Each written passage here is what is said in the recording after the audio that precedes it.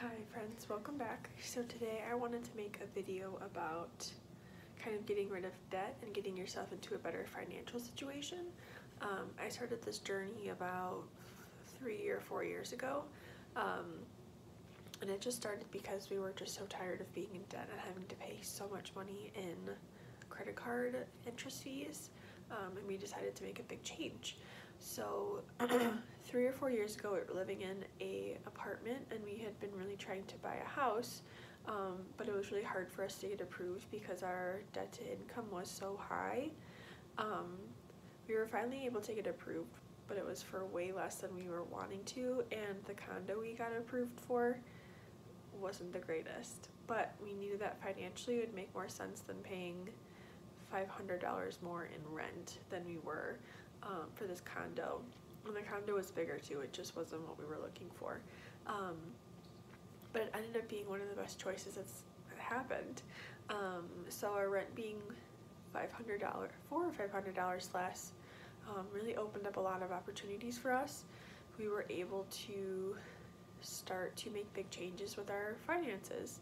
Um, so the first thing we did, we wanted to get rid of our credit card debt. We each had two credit cards.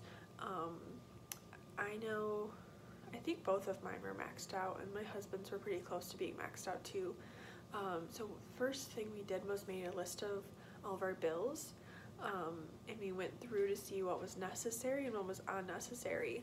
So we went through all of like our subscriptions um, and our cable. We got rid of our cable because that's like that was like almost a hundred dollars a month, which we didn't need. Um, and then like our Netflix and all those other subscriptions. We kept our Netflix. Um, all the other ones we got rid of though. And then after that was set, we went there are actual bills that we needed. Um, I called the internet company and got that lowered. Um, I think we're on the lowest plan, but our internet works great. I don't, I didn't notice a difference at all, and I think we got that to about fifty dollars a month. Um, and then, or um, what's it called? Um, having a brain block. Or our cell phone.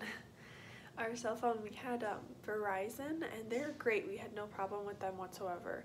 Um, but it was like eighty dollars a month and we just couldn't afford that anymore. Or we could afford it, we just wanted to, you know, lower our bills. Um, so we went, we found um, Comcast, who our internet is through, um, and they have a phone company, which I didn't know. Um, so we got set up through them, and it was really easy. We did it ourselves. They like sent the little chip card, and our bill for both of our phones total is twenty five dollars a month. That's with the lowest amount of data, which works out okay for us sometimes you go over, but our bill has never been more than, I think like $45, which is like less than half than it was before.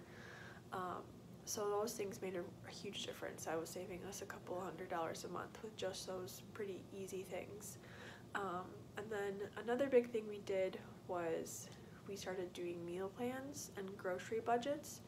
Um, the grocery budgets were much easier to do like three years ago when everything wasn't super expensive.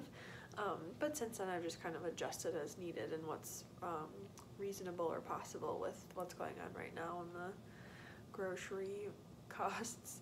Um, but every week I make a meal plan for our dinners. Um, and depending on like what's going on that week, I'll make easier meals for weeks that I know are really busy or um, weeks that I know I have a little bit more time, I'll do more um, in-depth recipes but I always make sure that um, the recipes have enough food for my husband to have left over so that he's not buying any um, food for lunchtime at work, which also saves a lot of money. And then with the meal planning, it also makes a huge difference with food waste. So we're buying exactly what we need and not um, just like randomly just buying a bunch of stuff at the store hoping that we'll eat it. We actually do eat it all.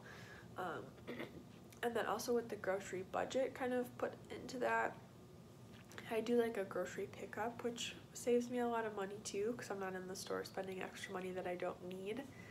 Um, so I'll go through my phone and like check our um, pantry and stuff, see what we need, check the fridge, um, and then go over all the meal plans or the recipes for that week, see what we need and we don't need.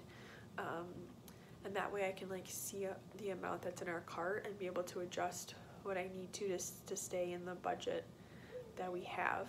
Um, our budget for for us for a week, I like to try to keep it under 175, which has been pretty easy. Um, again, I can kind of adjust it if um, I need a more expensive item, then I can kind of do a cheaper recipe that week, and I don't know, it gives a little bit more flexibility. Um, but yeah, those things are huge. They make a big difference, more than you think. It's funny how much money you spend on food if you're not keeping track of it. Um, and also, we don't eat out very often. Maybe we'll eat out once a month, but that's not, that's not. There's months where we don't eat out at all. Um, another big one is most of the stuff we have in our house we thrift. So if we need something new, I'll start with the thrift store first. Um, it's pretty rarely that I have to buy something like new at the store, which makes a huge difference cost wise. Um, my local thrift store has half off on Mondays, so a lot of times I'll go there and see what they have. Um, unable to find clothes and kitchen items and anything really I need for that. That makes a huge, huge difference. And it's fun. I like thrifting. Um, if you don't like thrifting, then maybe that's a, a no go for you, but um, maybe modify it as you like. But I find it really fun and rewarding. Um, and then monthly budgeting. That's a huge one for us too. Um, so every month I go through and see what bills we have, we have to pay, um, and then how much money is left over for us to spend on like fun things or whatnot, um, and then also how much you want to put into our savings account. Um, that makes a big difference. It helps us kind of be accountable with our spending and what we have in our bank account and um, obviously, there's months where things come up, and you know, a lot of the stuff's out the window or or whatnot. But I think having a base of it is helpful, and um, yeah, I think that helps a lot. All right, I think that's it for now. Yeah, I think that's it. I covered a lot of different bases. If you guys have any ideas, um, leave them down below. That'd be great. Um, I hope this kind of gives you a little bit of insight into things that maybe you want to do or what you don't want to do. Um, but just some ideas, and maybe you have some too that would be helpful for me um, yeah, I like videos like this. Hopefully you do too. Alright, thank you so much. I'll see you next time. Bye-bye.